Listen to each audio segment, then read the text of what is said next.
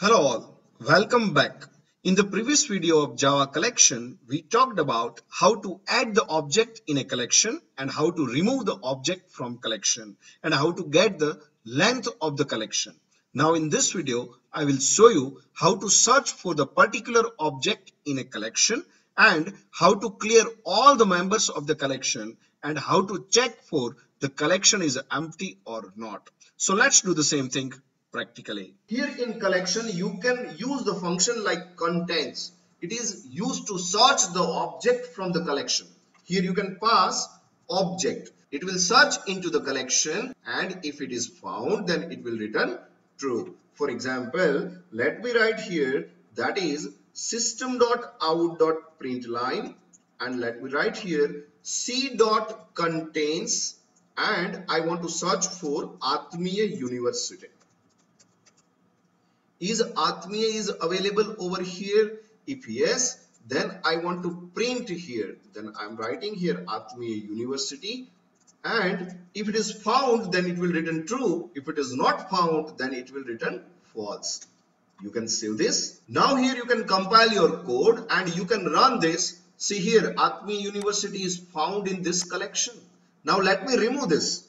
So I'm simply remove here that is a C dot remove and I'm removing the Atmiya University from this collection. And now I want to search again is this available in this collection? You can save this.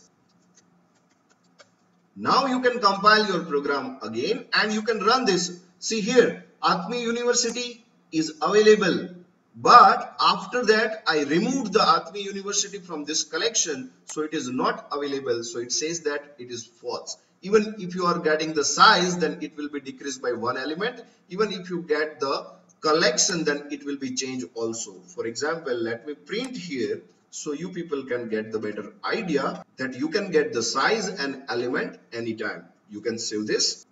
You can compile your code and you can run this. See here Atmiya University was available over here but after that it is removed so total number of element is 4 and Atmiya University is now not found in this collection. So here we can say that we can search the object, we can add the object, we can remove the object and we can get the size of the object also. Now I want to check what is my collection is empty so that is a one function that is is empty which returns boolean value true or false. It returns true if your collection is empty and it returns false if your collection is not empty. And there is a one function clear which is used to clear the collection right so there are two functions one is the clear and another one is is empty so let me use both the function over here let me write here that is system.out.println and I'm writing here c dot is empty.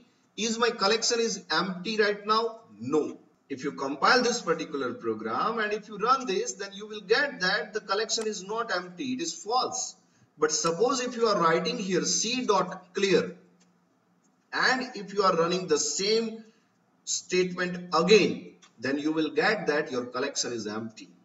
You can save this you can compile and run your code. You will get here collection is not empty before clear but after clear my collection is empty. Now if you are printing the collection then it will simply display the square bracket. You can simply compile and run. You will get here that this collection is empty right? So all the data in the collection is clear using the clear function. And is empty is the function which is used to check is my collection is currently empty or not. So you can say that these are the six function that is the basic operation of collection. Now there is a one more function which is used to retrieve each and every element one by one from the collection and that you can do using the function that is iterator. So that's it from my side. In the next video we will talk about iterator in Java collection. So if you like this video then please like, share and subscribe to my channel. Thank you very much. Have a nice day.